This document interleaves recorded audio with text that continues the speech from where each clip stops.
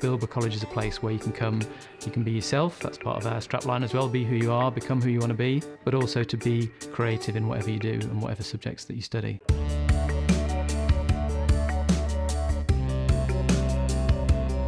Obviously, we've got a huge arts offer. We do every single creative subject, which is of massive importance to the, to the students because if you've done some creative subjects, you often learn about key employability skills.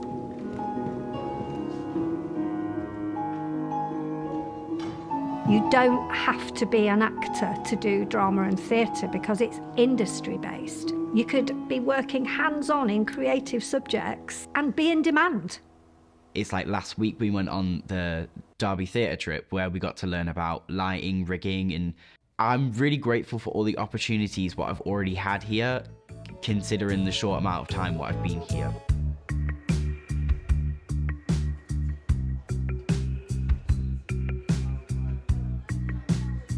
arts are so broad, there's always something for everybody, and each person has those resources that they can use to really just express who they are art subjects make you think of new things, and I think that will drive us forward as a society. We need a culture of creativity to drive innovation and also to drive communication. And so Artsmark has given us that impetus, if you like, to push forward on that creative side and make sure that it isn't just a bolt on to what we do, but it's part of our culture as a creative organisation.